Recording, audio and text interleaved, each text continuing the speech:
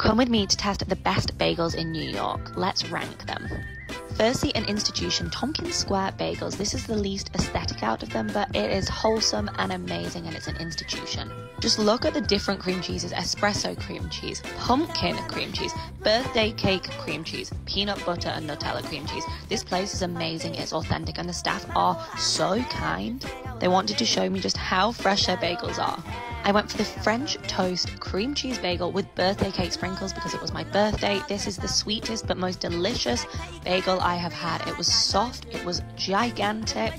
It was very sweet, but I did go for a French toast when my boyfriend went for peanut butter. Honestly, this place was so affordable, so nice, the staff were amazing, and the food was so good.